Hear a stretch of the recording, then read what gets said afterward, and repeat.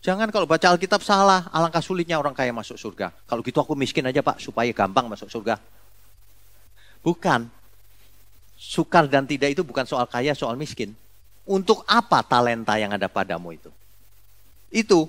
Jadi juru selamat model apa yang yang saudara kenal? Dia menyelamatkan kita dari apa? Ini masalah memang. Kalau seseorang mengenalnya salah, hidupnya akan salah.